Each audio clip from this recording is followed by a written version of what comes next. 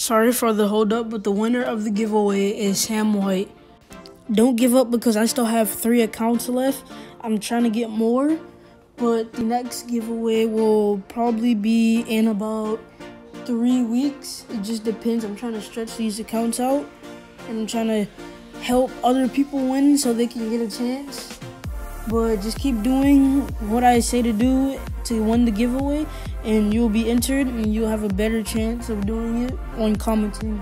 The next three accounts that I'm doing are the Ghoul Trooper account, an OG Skull Trooper account, and a Season 2 account.